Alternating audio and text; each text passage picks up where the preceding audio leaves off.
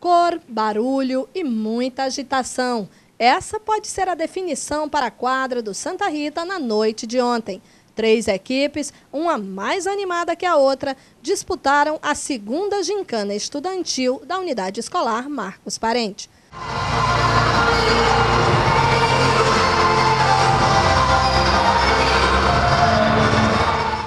A gincana fez parte de um projeto trabalhado na escola ao longo deste semestre. Esse projeto tem como segunda gincana cultural, agora antes unidade escolar Marcos Parente, agora sede, centro de ensino de integral Marcos Parente.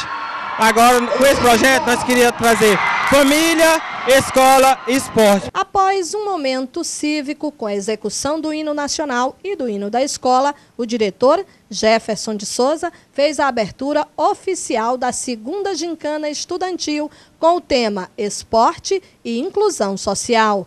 Professores, coordenadores e direção da Nona Gré prestigiaram o evento. Acreditamos que esse momento é de grande importância para a unidade escolar Marcos Parente. Trabalhar um projeto de tão grande valor, valor como é inclusão social. Neste momento, ele determina o aluno a ser, a descobrir a si próprio. E isso só nos deixa envaidecido.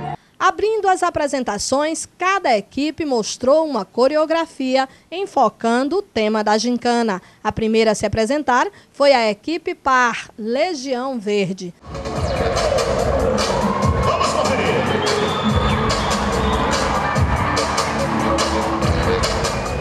Depois foi a vez da equipe azul, Gladiadores buscando a igualdade. A coreografia trouxe uma cadeirante, enfocando bem a questão da inclusão social.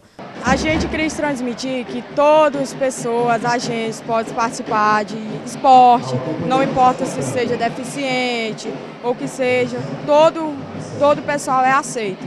Por último, se apresentou a equipe da noite, Esporte Guerreira.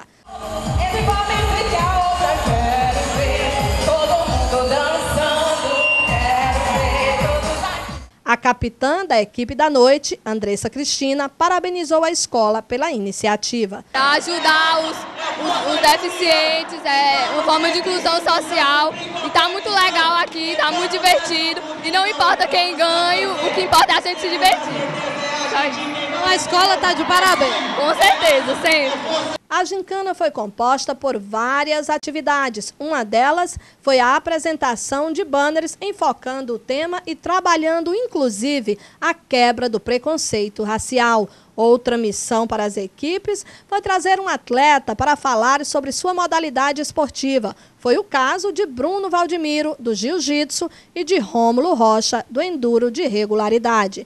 As equipes tinham ainda a tarefa de trazer um para-atleta. David Ariel demonstrou sua desenvoltura e habilidade com a bola. Eu agradeço a todos aqui por causa que dessa iniciativa, né, que poucas pessoas têm, têm a coragem de vir até aqui, poucas pessoas têm coragem de respeitar o para-atleta e eu acho que ele merece respeito. E eu estou aqui representando a classe e todo e agradeço pelo colégio, pela direção que me chamou. Uma inclusão realmente social, uma conscientização da população para as pessoas verem não só o para-atleta, mas também o negro, o branco, todos, com uma igualdade total na sociedade. Sempre frisando o esporte como inclusão social, a competição enfocou as diversas manifestações artísticas.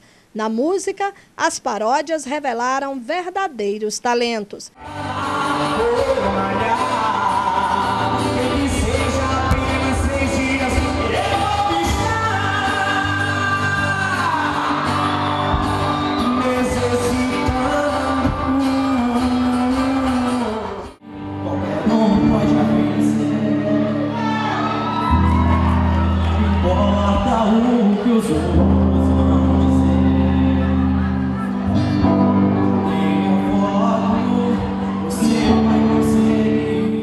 O cantor e capitão da equipe verde fala sobre a satisfação de participar deste evento. Para mim é até uma honra participar, porque é meu primeiro ano, meu primeiro ano que eu estou no Marcos Parente e cara, tá sendo bom demais. Já fiz muitos amigos, muita amizade boa, bacana.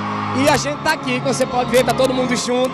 Alegria que também é compartilhada pela capitã da equipe Azuls. A gente tá assim, a união é o que mais importa. E a gente tá muito unido.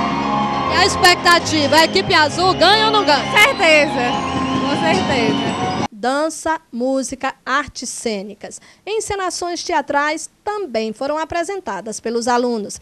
Essa peça, por exemplo, é uma história verídica. Ela fala sobre a vida da maratonista Ana Luísa Garcês. Enfoca a problemática das drogas e o esporte como solução, como saída.